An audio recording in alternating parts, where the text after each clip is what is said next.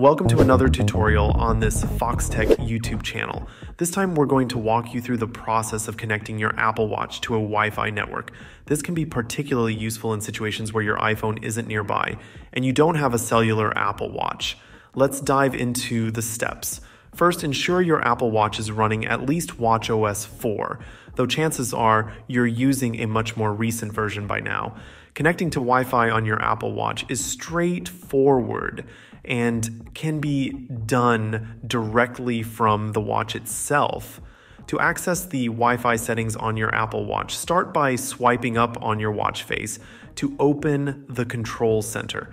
If you're using the latest Watch OS, you can also press the side button to access these toggles. Look for the Wi Fi icon, which resembles a small wave signal.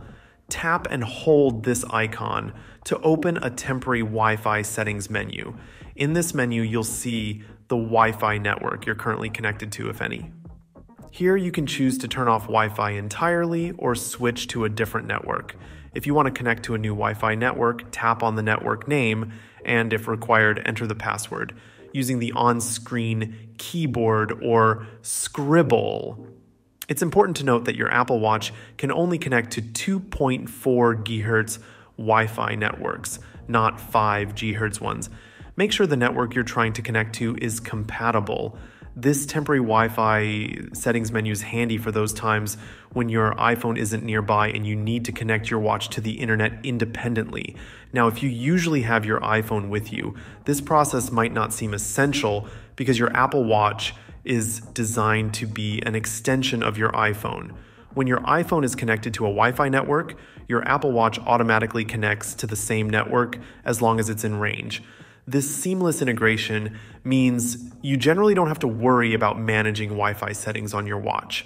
However, in scenarios where your iPhone is not around and you don't have a cellular version of the Apple Watch, being able to connect to Wi Fi directly from your watch becomes quite useful.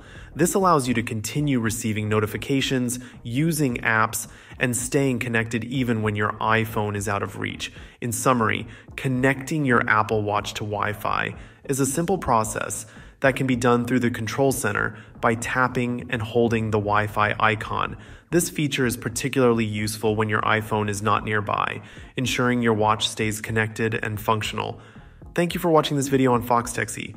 If you found this information helpful, please give it a thumbs up and subscribe to our channel for more tech tips and gadget reviews. Until next time, peace.